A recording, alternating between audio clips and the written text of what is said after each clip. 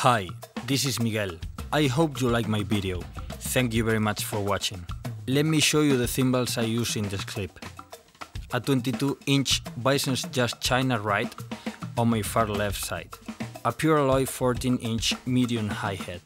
An 18-inch Byzance Brilliant Thin Crash. A Brilliant 8-inch Byzance Splash.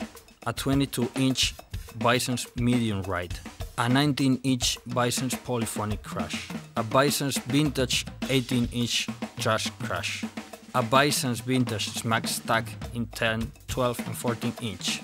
I also use a 12-inch Caixa as my side snare from Meinl Percussion. And last but not least, I use the Meinl Drum Honey on my snare and toms.